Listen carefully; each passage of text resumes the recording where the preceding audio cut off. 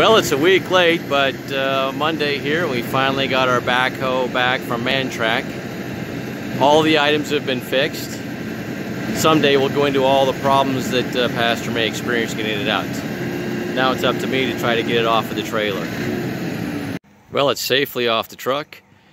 We'll wait for Pastor May to get back from town, and then uh, probably tomorrow we will start moving dirt. There's a lot of that that has to be done around here. So Monday, a very good day.